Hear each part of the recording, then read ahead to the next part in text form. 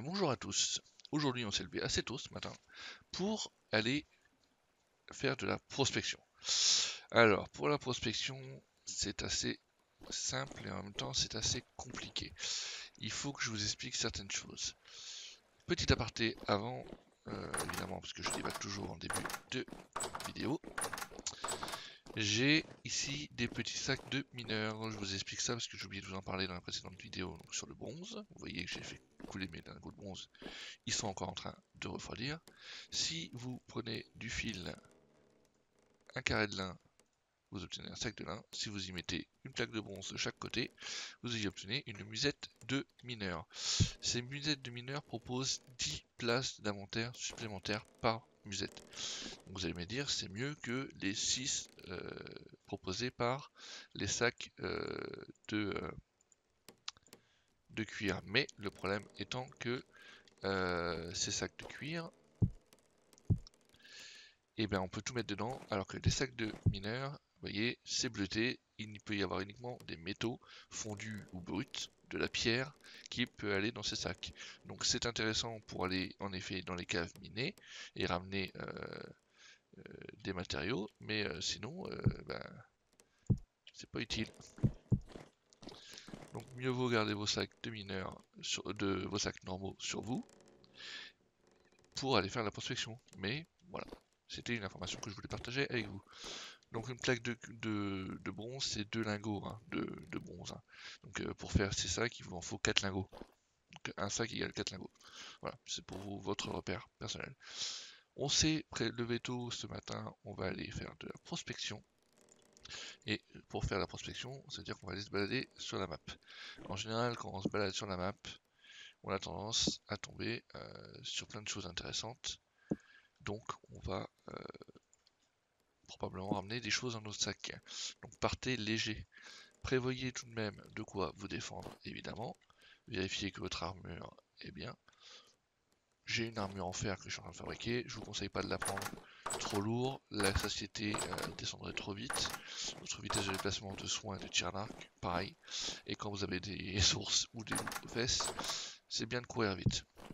En revanche, on peut prévoir des réserves de nourriture. Alors on ne sait pas combien de temps on va partir.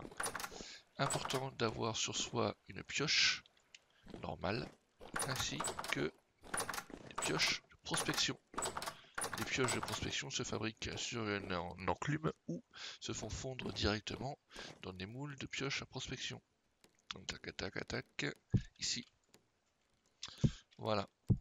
Et avec un bâton, vous créez un outil comme tous les outils du, euh, du jeu. On en a de différents types. La seule chose qui varie, c'est que euh, vous pouvez taper euh, de la pierre avec les deux, mais vous allez être plus ou moins efficace. Voilà, on parle une fois, deux fois, évidemment la durabilité n'est pas la même. Donc je vais prendre deux pioches histoire de ne pas tomber en rade. Il est conseillé également de prendre un seau d'eau avec nous, histoire de faire une descente d'eau, si jamais on a besoin de descendre à la verticale, si vous tombez sur un filon euh, directement et vous voulez exploiter. Moi je vais pas le faire parce que moi je ne fais que du repérage pour l'instant et je retournerai miner une prochaine fois. Je suis donc prêt à aller euh, chercher les minerais. Qu'est-ce que je cherche? Eh bien ça, ça dépend de vous. Si vous cherchez pour du bronze, vous allez vous concentrer sur de la sphalérite, du bismuth et or et argent éventuellement. Excusez-moi, je bois mon café. Si vous cherchez du fer, ce sera de l'hématite, ou euh, les autres euh, minerais de fer qui sont euh, la magnétite et j'ai oublié le dernier. Et, et, et, et, je vais regarder en plus il n'y a pas si longtemps. le fer, le fer, le fer. Donc le fer, ce sont des magnétites de la limonite. Voilà. bon, on est en hiver, hein, les 5h du matin. Malheureusement, le soleil va se lever que plus tard et je décide de partir dans un coin où j'ai pas trop prospecté. Au nord c'est les montagnes, c'est un peu chiant. Là j'ai pas mal prospecté. Euh, par là, visiblement, la caséite. Ouais, on va aller vers, la, vers ce côté-là pour ma part. Donc voilà, on est parti. J'ai oublié de vous dire, vous pouvez également prendre du soin. Ça va de soi. Donc là il fait nuit. Ah si, j'ai oublié un petit détail n'en est pas un évidemment, mais pensez à prendre une source de lumière Une lanterne, c'est toujours pratique. Hein. Déjà parce que pour vous, ce sera plus agréable. Et si vous vous mettez à descendre dans des, dans des trous, dans des crevasses, à explorer des choses, euh, d'avoir de la lumière, une lumière éternelle, et qui en plus de surpoids, euh, quand vous sautez dans de l'eau, euh, ne s'éteint pas, c'est quand même agréable. Donc, on va pas besoin d'aller très loin. Voilà, petit lag. On va déjà faire un petit prélèvement ici. Je n'en ai pas fait. Donc, comment ça fonctionne? Vous prenez votre pioche de prospection et vous allez euh, chercher dans le sol. Donc, vous devez atteindre la pierre. Donc là, j'ai déjà fait des prospections. Peut-être. Allez, on va se mettre ici. Admettons. Vous creusez jusqu'à atteindre la terre. Là, vous faites un... Alors, il y a plusieurs méthodes, mais voilà. Votre premier prélèvement. Vous mettez... Voilà, il vous reste plus que deux échantillons. Vous cassez la pierre. Vous devez vous écarter de 3 minimum. Donc là, vous avez fait votre prélèvement ici. Donc 1, 2, 3. Allez, admettons, on va mettre 4 ici. Hop, et vous cliquez et je vais vous casser votre minerai. Hop, plus qu'un échantillon. On peut faire une triangulation, donc je pourrais continuer à décaler de 3. Ou je peux repartir sur la gauche. Ou euh, en diagonale, peu importe. Du moment vous êtes séparé de 3 de celui-là et de 3 de celui-là. Donc au pire, on va reculer un petit peu. Voilà, on va dire que c'est ici. La première, elle sert juste à, on va dire, à reconnaître le biome. Pas très utile d'être très précis. Donc voilà, vous voyez qu'ici j'ai quand même pas mal d'hématite, du borax très pauvre et euh, des traces minuscules. Quand je, suis en 1.19, vous voyez que mon point est vert pour me dire que j'ai l'hématite en élevé. Ici on descend. Donc descend élevé, élevé c'est mieux, donc c'est vert. Plus mon point va être vert, plus ça va être intéressant évidemment. Donc voilà pour le repérage. Donc vous cherchez vos minerais et euh, une fois que vous trouvez des zones, donc si vous n'avez rien, vous avancez à peu près 80 blocs. Ça je crois que le, correspond à peu près à un, chunk dans le jeu. Vous avancez de 80 blocs à peu près, donc pour ce faire, vous regardez sur votre map. Hein. Ici, vous êtes à 540 et vous avancez. Donc on est à 620, hop, 620, c'est à peu près par là quoi. Vous avancez jusque là et vous recommencez. Mais on va le faire. C'est toujours mieux de montrer ce qu'on dit. Plus efficace du moins. J'avance, bam bam bam, hop à peu près. Je suis largement assez devant. Et en plus on voit que j'ai de la pierre directement. Donc on creuse directement sans creuser. Ici, hop, 1, 2, 3, 4, je sais pas, par ici. Et on va dire, allez, par là. Et voilà, très pauvre, très pauvre, très pauvre, très pauvre. Donc ça me dit que ici, bah, ça pue un peu du, cul, hein, si je puis dire. Donc si vous cherchez de l'hématite, bah, vous revenez en arrière. Vous allez un petit peu au nord, ou au sud, ou à l'est. Bah, à l'est, j'en ai déjà fait un. Enfin, à l'ouest, pardon. Vous en avez déjà fait un, donc euh, c'est pas intéressant. Donc vous savez que ici, dans cette zone-là, vous avez de l'hématite.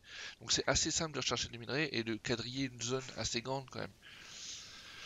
Donc voilà, vous avez fait votre recherche d'hématite. On va aller faire, ça tombe bien ce qu'il m'en faut parce que j'ai fini ma mine d'hématite. Donc en direct, je vais vous expliquer tout ça. Je vais le rechercher avec vous. Donc je vois que ici j'ai une bonne quantité d'hématite. J'ai pas envie de me casser la tête. On va dire que c'est très bien. Là je vois qu'il y a une crevasse. Bon. C'est pas ce qu'on cherche, mais bon. Admettons. Je reviens sur mon point. Ici. Donc j'ai vu que j'avais de l'hématite. Maintenant, ce qu'il nous faut savoir, c'est une chose assez intéressante.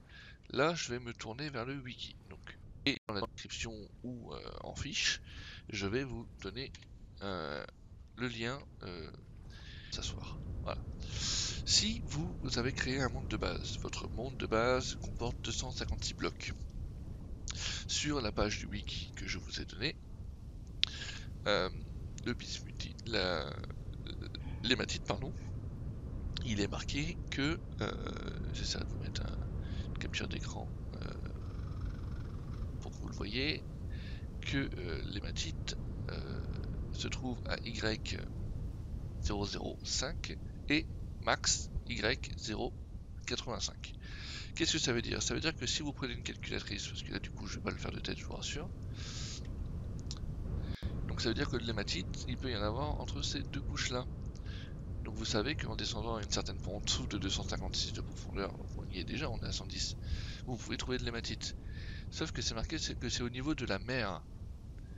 Au niveau de la mer, c'est euh, une valeur assez conne. En fait, il faut que vous multipliez votre monde, la hauteur de votre monde, par 0, 43, 13, 72, 54, 90, 19, 0, 78. Ou alors, tout simplement, sur un monde de 256 blocs, je vous ai fait le calcul, ça représente une hauteur de 110. Donc là où je suis, c'est le niveau de la mer.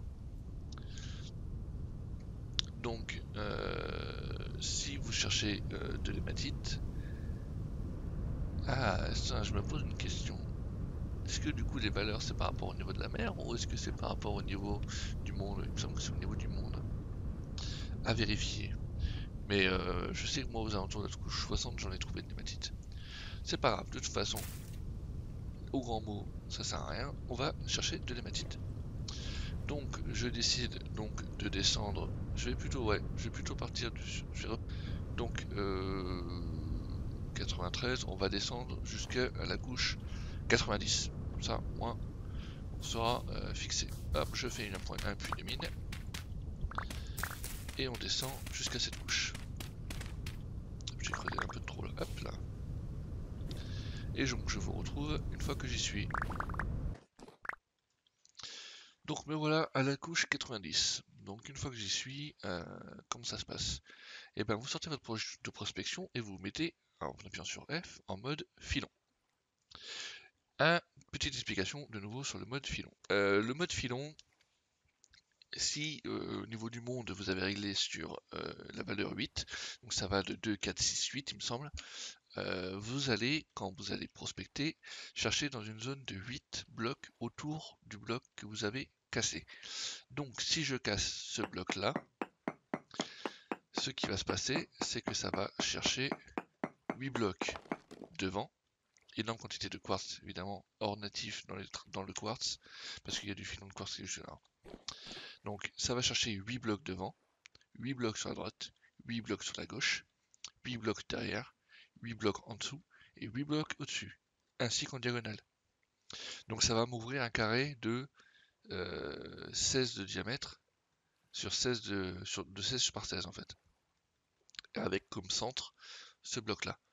Donc si en l'occurrence je n'ai pas trouvé de euh, d'hématite à ce niveau là, je sais que deux options. Soit je sais qu'il n'y a pas en dessous de moi sur minimum 8 blocs de l'hématite, je décide de descendre donc de 16 blocs. Soit je me dis que je vais chercher plus loin devant, à gauche ou à droite, ou derrière.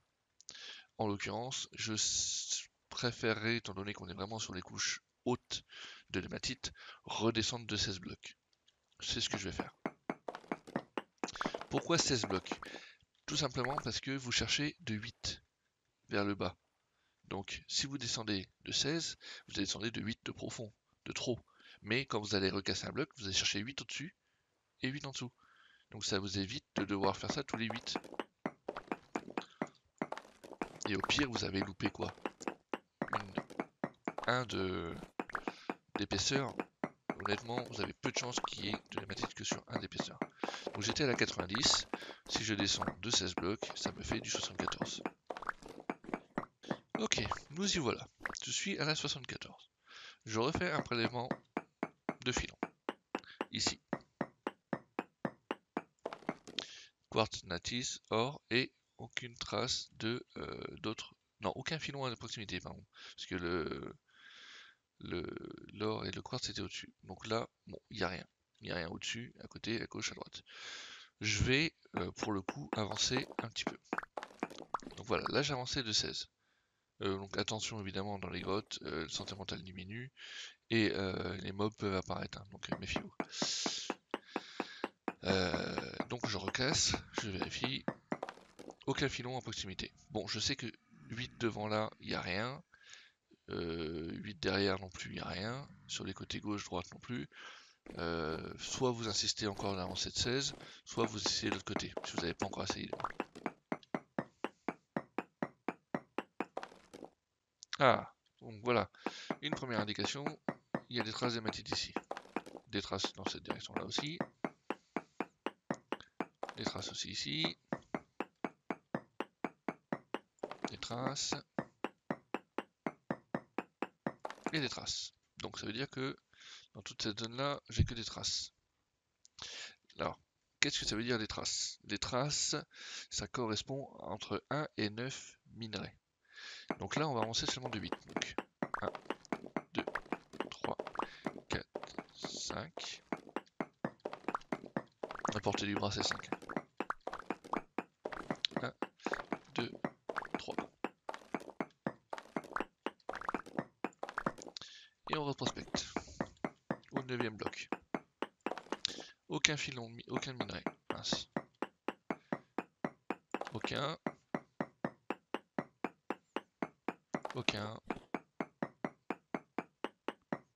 Aucun. Aucun. Donc vous savez déjà que c'est dans ce, cette zone-là. Donc là, vous êtes au huitième bloc. Donc là, ici, vous aviez des traces. Vous voyez, hein, votre place, vous mettez quelque chose pour marquer. Donc on va essayer dans ce sens-là. Donc là, comptez. 1, 2, 3, 4, 5.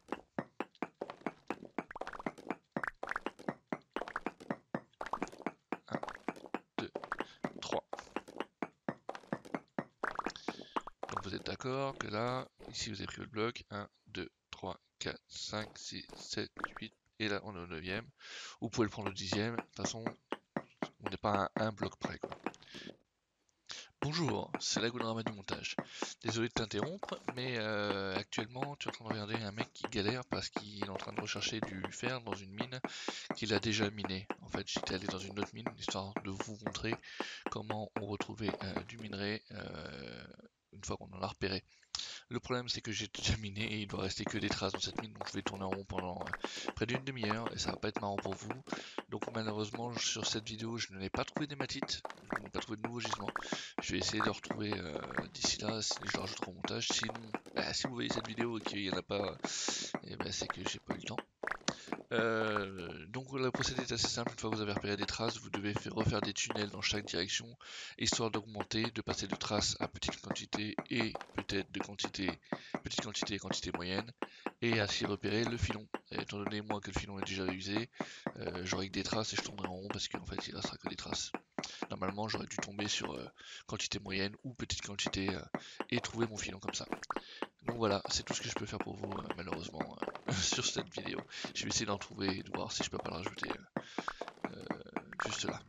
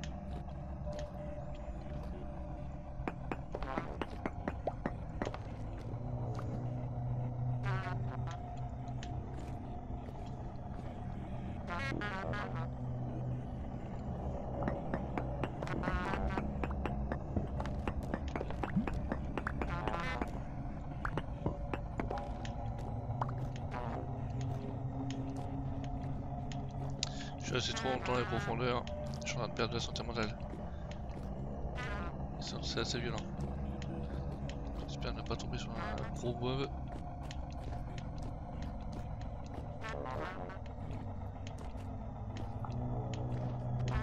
Je remonte rapidement. Je suis en train d'ouvrir la, la brèche dimensionnelle.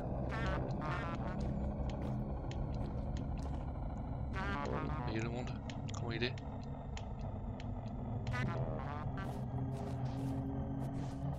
Voilà, je suis resté trop longtemps. Euh...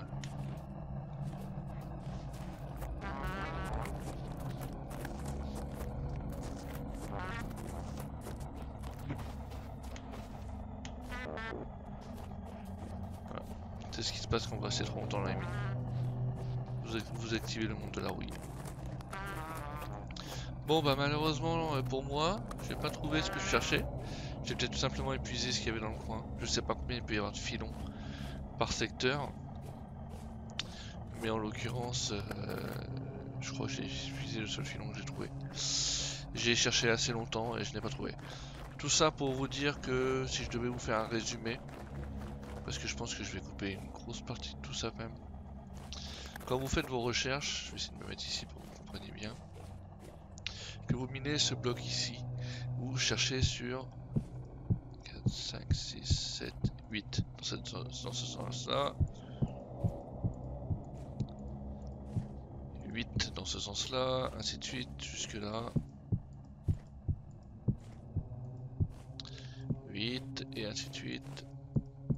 4, 4, 5, 6, 7 et 8. Voilà. Ça, c'est comme ça que ça se passe. Je suis pas tout à fait on s'en fout. Vous avez compris le principe. Et vous cherchez également euh, en diagonale, c'est-à-dire que là, 1, 2, 3, 4, 5, 6, 7 et voilà, jusque là. C'est pareil, hop, je par par là et vous faites un, un, carré. Mais aussi en hauteur et en, et en bas.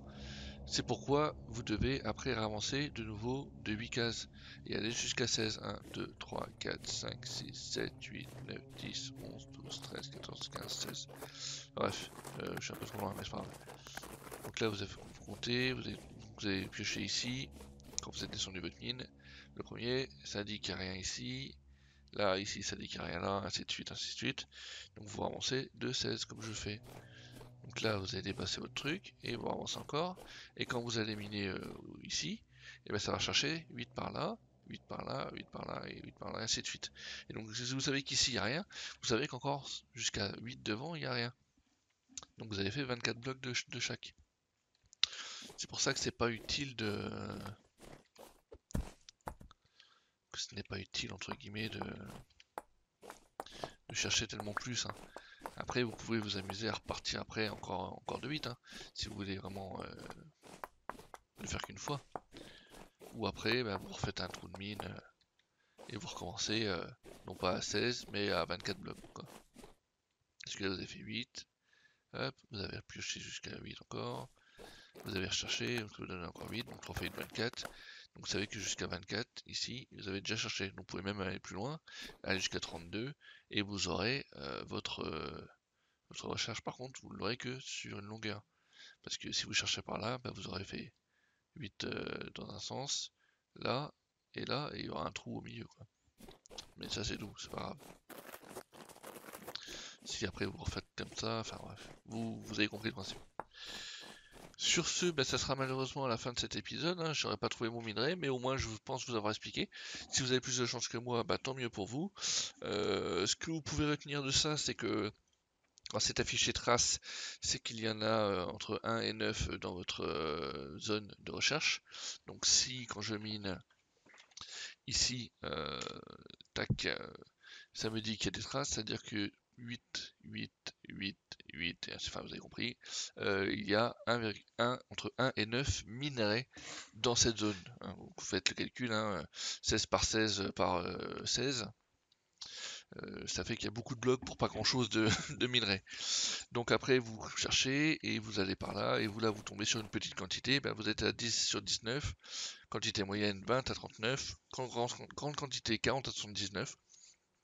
Euh, très grande quantité 80 à 119 et énorme on est à plus de 120 donc vous savez que euh, plus la valeur monte plus vous, vous rapprochez du filon. Et après bah, c'est à vous de chercher hein. vous cherchez euh, les quantités. Si quand vous avancez bah, ça passe de petite quantité à trace c'est que vous éloignez. Si ça passe de trace à petite quantité c'est que vous vous rapprochez. Et ainsi de suite et ainsi de suite et ensuite, vous prospectez, vous faites du quadrillage et jusqu'à tomber sur les filons. Hein.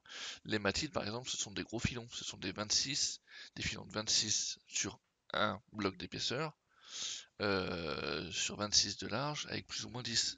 Donc on est sur du 26 à 36. Donc c'est quand même assez dur de les louper en piquant, euh, en faisant des, des, lignes droites euh, à gauche, droite, en, utilisant les points cardinaux et la hauteur. En général, voilà, vous êtes, sûr de tomber dessus.